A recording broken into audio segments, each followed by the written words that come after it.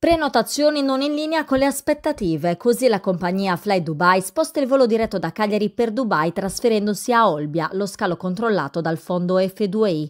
La decisione viene comunicata in una nota congiunta da Soga e Regeasar, che per evitare il rischio di cancellare la Sardegna dall'opportunità di sfruttare il primo diretto collegamento intercontinentale di linea, hanno avviato un tavolo di confronto consentendo di mantenere l'isola nel network di Fly Dubai. Una dichiarazione non credibile agli occhi dei presidenti di Confcommercio e Confindustria Sud Sardegna, che hanno definito il dirottamento come un vero e proprio scippo dell'aeroporto di Olbia su Cagliari. La verità è che è stato commesso uno scippo al territorio del Sud Sardegna ed è stato tirato uno schiaffo violento alla Camera di Commercio di Cagliari e alla Regione. Uh, lo scippo dal, del volo Fly Dubai da Cagliari a Olbia è l'antipasto di quello che può succedere quando un fondo speculativo a scopo di lucro eh, ha degli aeroporti a sua disposizione, cioè sceglie esattamente di spostare dei voli dove lucra maggiormente.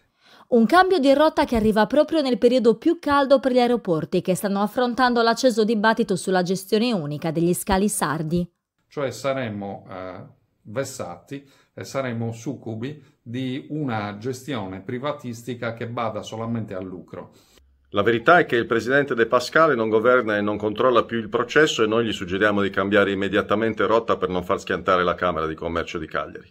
Un'anteprima di quello che potrebbe succedere se il fondo speculativo F2I avesse il monopolio di tutti gli aeroporti della Sardegna. E nonostante nelle sue dichiarazioni faccia buon viso a cattivo gioco, non si può certamente dire che dopo cinque anni di lavoro vedersi scipparsi, un, vedersi scippare una, un volo così rappresentativo possa essere una, uh, un punto positivo.